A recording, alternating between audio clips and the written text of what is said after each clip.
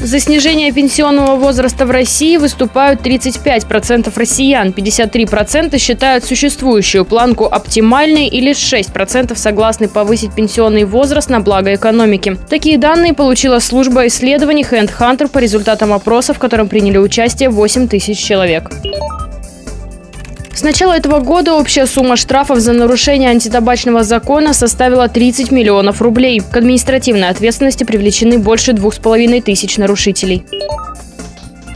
22 мая Рособрнадзор организует горячую линию, посвященную проведению итоговой государственной аттестации. Разъяснения коснутся организации проведения ЕГЭ и ГИА, содержания экзаменационных материалов, особенностей для выпускников с ограниченными возможностями здоровья.